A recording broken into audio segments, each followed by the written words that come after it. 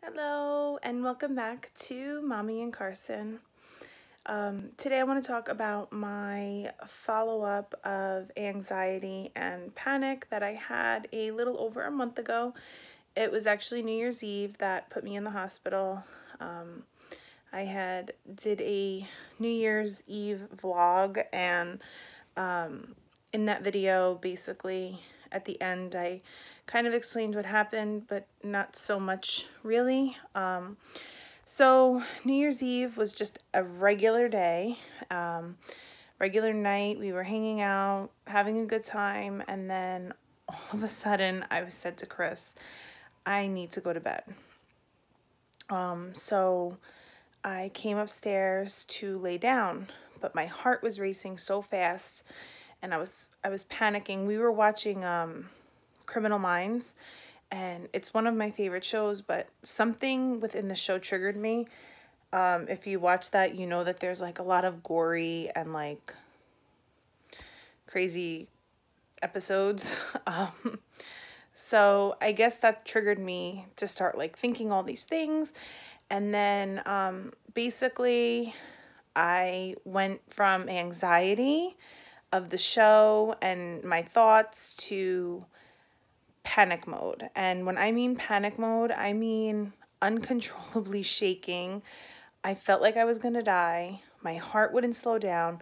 The baby um, was moving like I've never felt before in my life. I mean, tumbling and twisting, and all I could think is, is the baby okay? Is the baby okay? Um, so I said to Chris, you need to call 911. And he's, why are we calling 911? And I'm like, listen, I don't feel right. Something's not right. So he called 911, ambulance came. Um, they checked me, my vitals, everything were normal, which was really good. And of course, when the ambulance got there, I kind of calmed down, I guess because the presence of medical professionals, I, I felt safe, I felt comfortable. Um, because if something happened in that moment, they would know how to react to it. Um, so I refused to go to the hospital with them.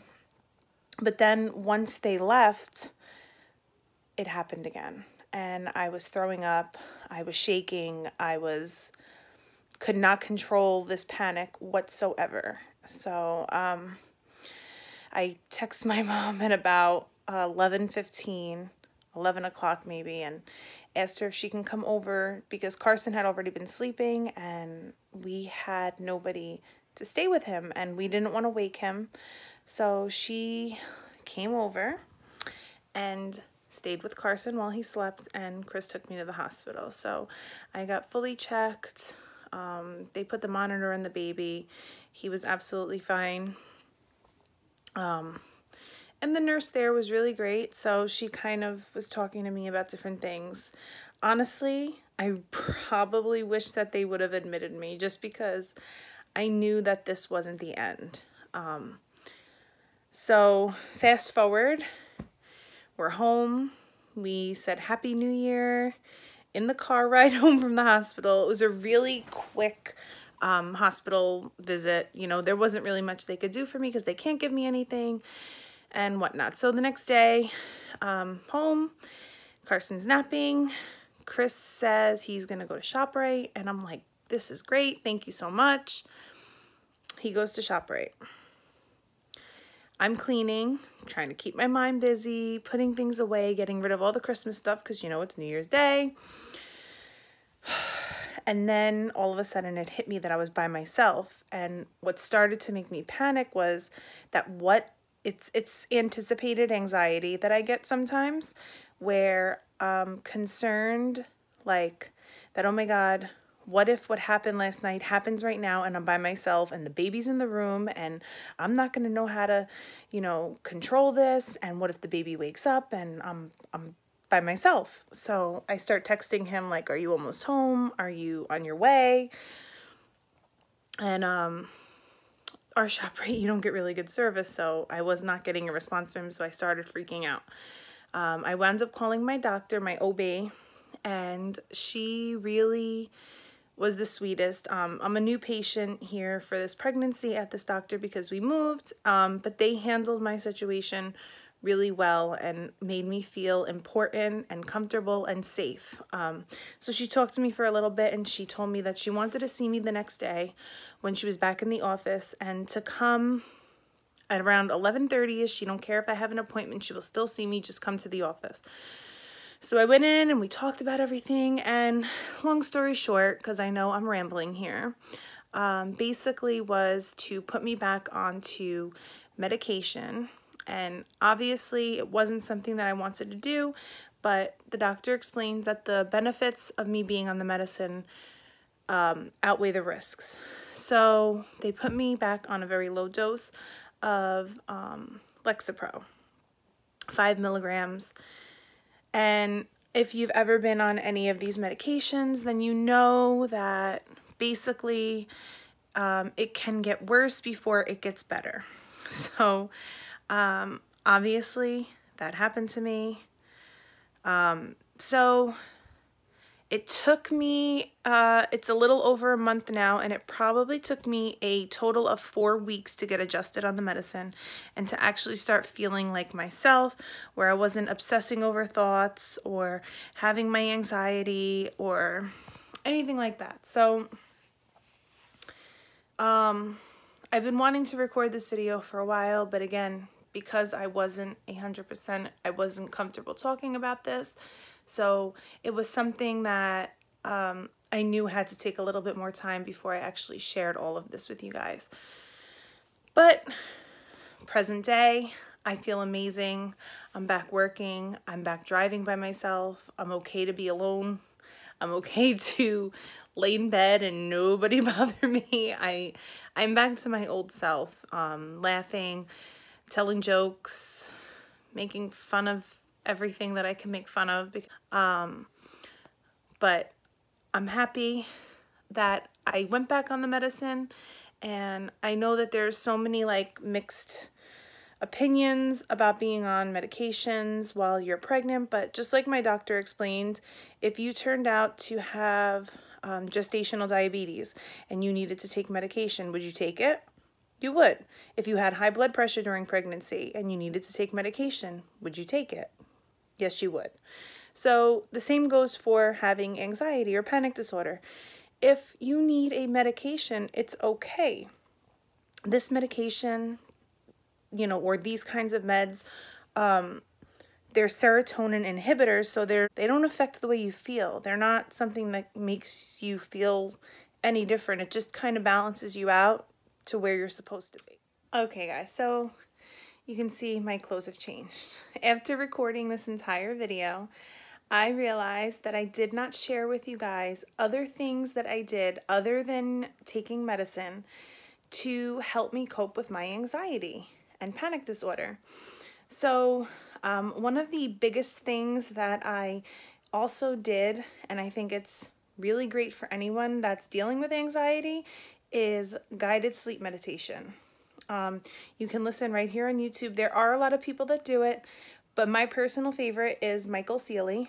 And I will link one of uh, my favorite guided sleep meditations below for you guys to check it out.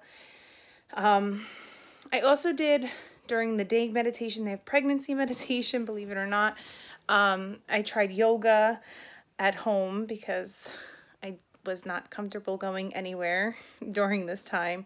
Um, so I did some yoga at home um, a lot of praying. I mean, these things also contributed to me feeling more like myself and getting better. So it was not only the medication, um, and it also took a lot of support from from my family. My husband um, was a hundred percent supportive of me. Um, did everything, took care of the baby. I, I he let me lay in bed, and just kind of get my mind right and get myself right because he knew that I needed to get myself better. Um, so these are just a few things that I wanted to share with you other than just talking about the medicine. Okay, resume. Um, so I'm really happy that I started back on it. And basically my message to um, all you moms who may be pregnant or new moms is that if you're feeling like that, that's no way to live and you should really seek the help and you shouldn't be ashamed or embarrassed. Um, it's something that's not often spoke about. So I think as women, as mothers, as even men, like for anybody that's experiencing it, I don't, I feel like it's not something that society talks about or makes it any type of positivity out of it. And um, it's a positive thing for me um, to be on this because it's helping me get through my pregnancy and after sharing um, a lot of my stuff on social media about my anxiety and my, you know, issues that I've been having or whatnot, so many moms, so many women have reached out to me. Women that were on the same medicine that I'm on or different kinds. Um, so many women that are struggling and, you know, they're just grateful that I was able to share my story and talk about this because it made them feel more comfortable to go and seek help. So just know that whoever you are, whatever your situation is, you are not alone and getting help is the first step and it's the best thing for you. Um, so please, please do that. Do not think that there is not a light at the end of the tunnel because there absolutely is and you deserve to be happy. So that is my little story. I'm feeling so much better. I'm so excited. I am currently 29 weeks pregnant. My belly is growing. The baby is moving. Um, and basically, we should be expecting this little guy within 10 weeks or less since I am scheduled for a C-section on April 20th. And couldn't be more excited to meet him and see what he looks like. So I hope that you guys enjoyed this video. If you did, you already know, please give it a thumbs up and leave a little comment below. I'd love to hear from you. And um, I will also post below the link to my New Year's Eve video and um, all my social media stuff, Instagram, where you can follow me and see updates on everything going on in my life from pregnancy to anxiety to motherhood to a cranky toddler that doesn't want to eat his food. So I'm glad to have you guys. Don't forget to subscribe to my channel if you haven't already. And I will see you on my next video. Bye.